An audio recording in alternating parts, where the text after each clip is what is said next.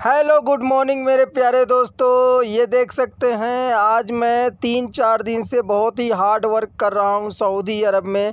तो यहाँ पर आप देख सकते हैं हार्ड वर्क कुछ नहीं है मेरे लिए, लेकिन तो क्या है कि धूप बहुत ज़्यादा है। धूप से ही जो कुछ भी दिक्कत हो रही है, आइए हम आपको दिखाते हैं क्या क्या कर रहे हैं। देख सकते हैं, ये है खजूर और इसके जो है कि जड़ में यहाँ पर लाल ला करके मिट्टी गिराना रहा। पहले पहले तो मैं इसको पूरा क्लीन किया हूँ।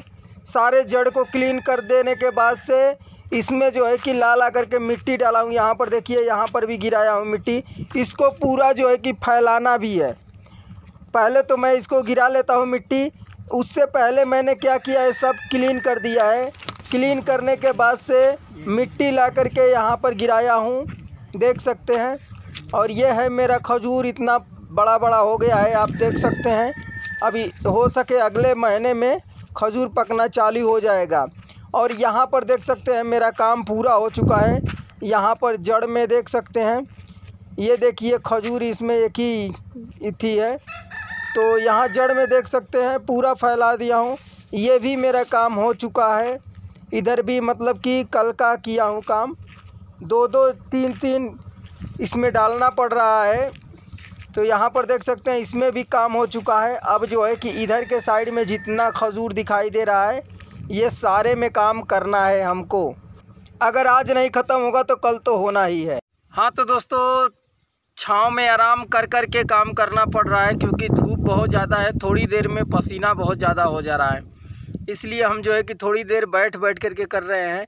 यहाँ पर जो है कि एक ही बार नहीं कर पाएँगे तो इसलिए जो है कि आराम आराम से कर रहे हैं। अभी एक बजेगा तो एक बजेगा तो हम भी खाना खाने के लिए भी चले जाएँगे।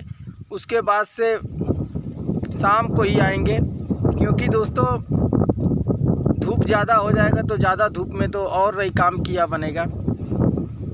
यहाँ पर देख सकते हैं दोस्तों, मैंने कितना मिट्टी खाली कर दिया है, और ये ट्रॉली है। इसी ट्रॉली के माध्यम से जो है कि हमको ले जा ले जा करके खजूर में गिराना रहता है। यहाँ पर देख सकते हैं ये बेलचा है बेलचा को जो है कि छुअल बोला जाता है, ट्रोली को अरबिया बोला जाता है। यहाँ पर देख सकते हैं, यही सारी खजूर है, सारे खजूर के जड़ में मट्टी गिराना है। हाँ तो दोस्तों फाइनली मेरा काम ख़त्म हो गया और मैं आ गया हूँ अपने रूम में। मतलब पूरा ख़त्म नहीं हो गया है। आज का काम इतना ख़त्म हुआ है, शाम को जाएँगे अभी। तो इसलिए मतलब पूरा ख़त्म नहीं हुआ है। फ़िलहाल में मैं रूम में आ गया हूँ दोस्तों। तो दोस्तों आप लोगों से हमेशा मैं रिक्वेस्ट करता हूँ तो हमेशा रिक्वेस्ट करूँगा कि आप लोग हमारे चैनल को सब्सक्राइब नहीं किए हैं तो प्लीज़ चैनल को सब्सक्राइब ज़रूर कर दीजिएगा, नोटिफिकेशन बेल को भी आल पे क्लिक कर दीजिएगा और दोस्तों वीडियो को लाइक ज़रूर कीजिएगा। अभी के लिए बाय दोस्तों, फिर मिलेंगे आपसे किसी अगले वीडियो में। दोस्तों आपसे बहुत ज़्यादा उम्मीद रखता हूँ, सपोर्ट ज़रूर कीजिएगा आप लोग। ओके दोस्तों, बाय।